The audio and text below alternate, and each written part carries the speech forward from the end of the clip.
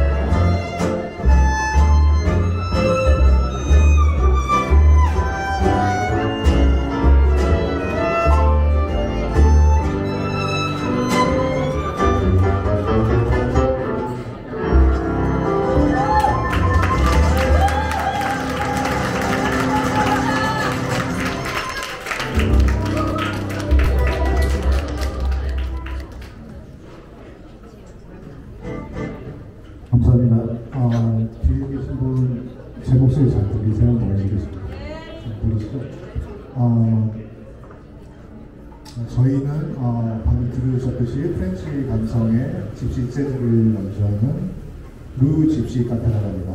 멋있어요. 감사합니다. 박수. 좀 마이크 소리가 저한테 좀 낯선데 어, 감안해서 들어주시면 감사하겠습니다. 저희 어, 먼저 시작 전에 멤버 소개하겠습니다. 피아노의 최유미 씨,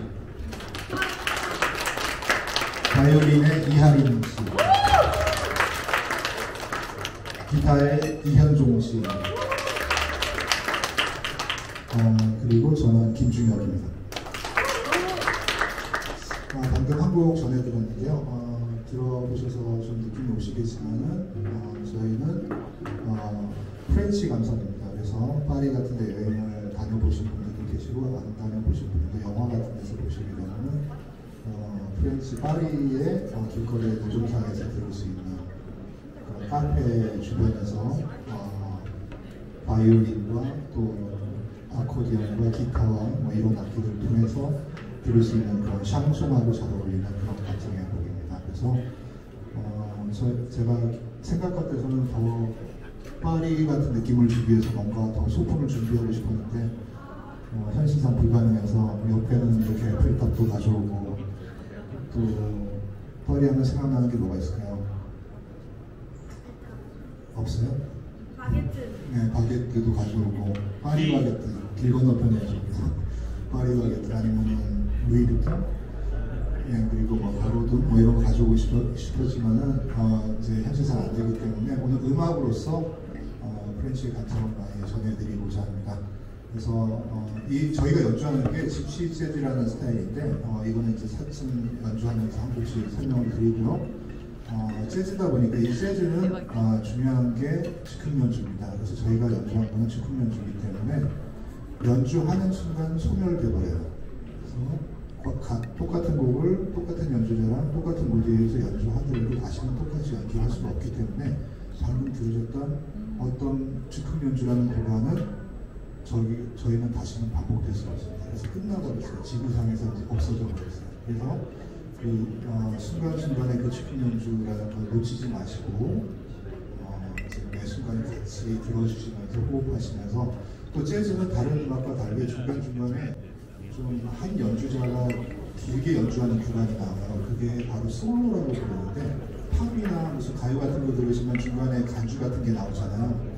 근데 저희는 간주라고 하면 기분이 안 좋아요. 저희는 간주가 아니라 솔로라고 하는 그 이제 재즈를 공부하는 사람들은 그걸 위해서 평생을 갈고 닦고 피와 눈물이 거기에 섞여 있기 때문에 그 즉흥 연주를 들어보시면 그 사람의 모든 감수성과 그리고 성향 그리고 성격까지 다. 어, 저 사람은 좀 예부담하다, 사차원이다, 뭐 여러 가지 아니면 좀 성격이 급하다, 강렬하다 여러 가지 느낄 수가 있는데요. 하여튼 그 즉흥 연주를 잘 들으시면서 어, 재즈는 전통적인 그 의미로서 그 솔로 주자가 솔로가 끝날 때마다 그분한테 잘 들었다는 의미로 박수를 칩니다. 그래서 박수를 쳐주시면은 그 다음 솔로 주자로 넘어가면서 그 중간에서 박수를 쳐주시면 저희가 좀 더 기분이 up돼가지고 연주가 더 잘 될 수도 있고 아니면 망할 수도 있고 어, 떻게 될지는 저희 모르겠지만 어, 순간순간 그 솔로 부분도 잘 들어주시면서 박수 많이 박수 소리가 작, 작으면 저희가 뭔가 성격이 소심하기 때문에 주눅이 들어오면 내가 무슨 죄를 보다 이러면서 어, 이제 연주가 점점 활기를 잃고 막 이렇게 될 수도 있으니까 이 즉흥 연주가 좋은 게 관중들의 어떤 서- 그런 반응도 저희 연주에 같이 그 느낌이 묻어날 수도 있습니다. 그래서 같이 즐겨주시고 어, 방금 들으셨던 곡은 어, 집시 재즈곡으로 유명한 세울세 소일 그 오늘 밤 나는 혼자예요라는 곡을 어? 그 무슨 의미인지는 모르겠지만 그런 무슨 세울세 소일이라는 곡 전해드렸습니다. 다음 곡으로는 어, 또 이제 집시 재즈곡으로 유명한 보사노바로 보사노바로 들려드렸습니다. 감사합니다. 좋은 시간 되십시오.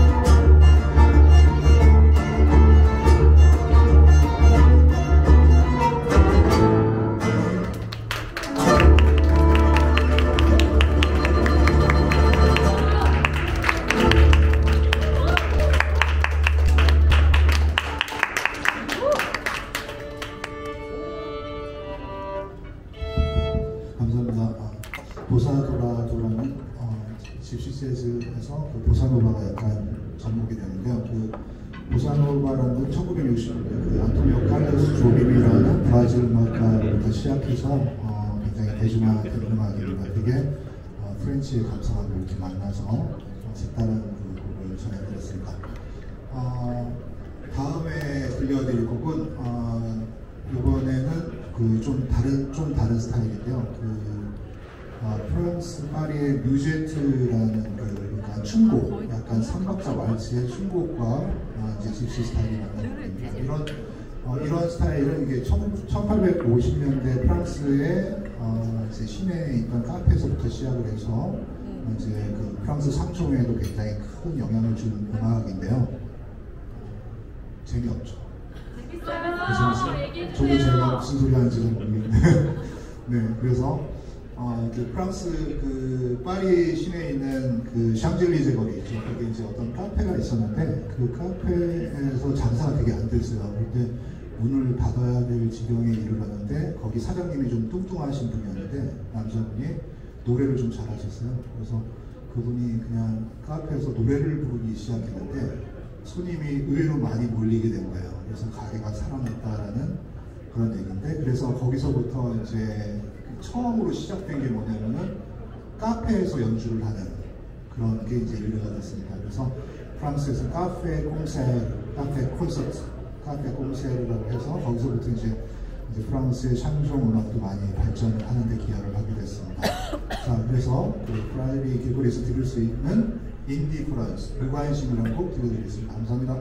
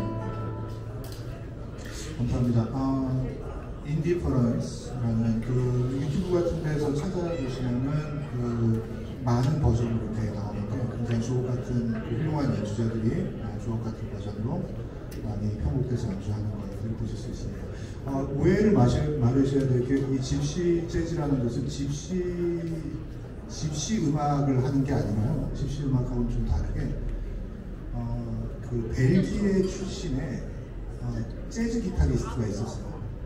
그 장고 라인하르트라는 재즈 기타리스트가 있는데 어, 그분이 이제 프랑스 파리에서 활동을 하셨어요.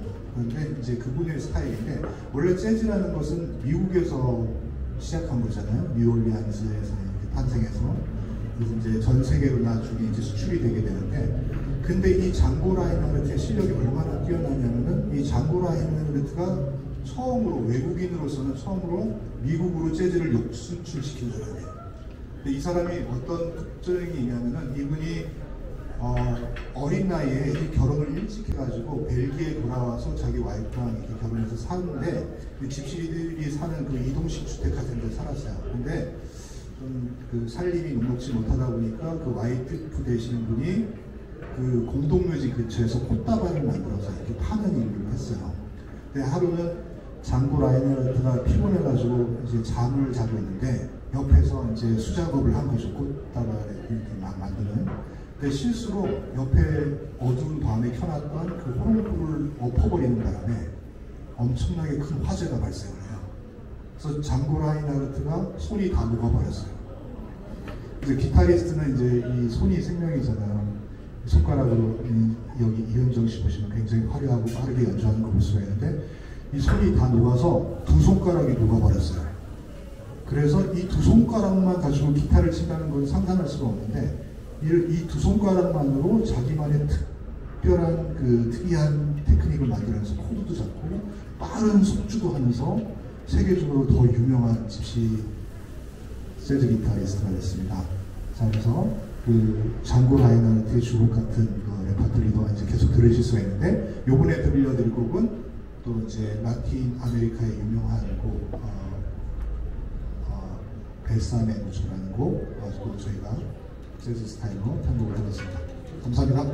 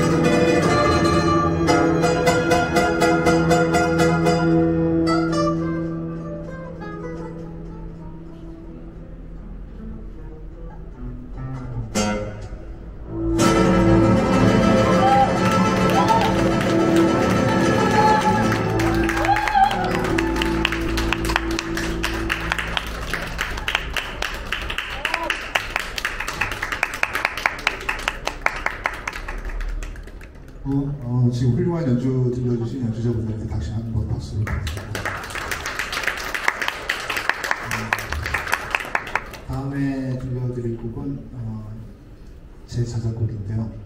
음, 제가 한 10년 전에 제 정규 앨범을 냈는데 어, 다음 날이 마지막 레코딩 날짜인데 제가 그, 그 프로듀서님한테 연락이 왔어요.